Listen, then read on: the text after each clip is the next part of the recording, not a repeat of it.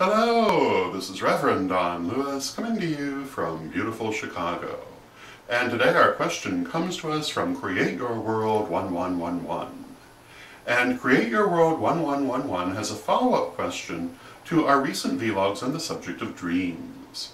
And Create Your World 1111 asks whether it is possible for people to communicate with one another in dreams. And my answer to this is yes, I believe it's absolutely possible, and I also believe that it's a rather frequent occurrence.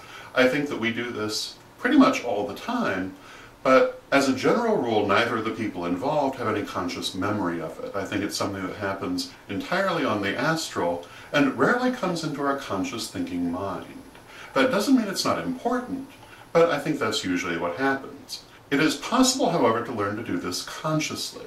And one way to do this is by programming yourself to do it just before you go to sleep, by focusing upon the person you wish to communicate with very strongly and very clearly, and programming yourself that you're going to communicate with them while you're sleeping.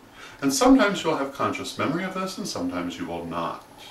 Now there is a related practice called calling forth the soul, which does the same thing during meditation rather than during sleep.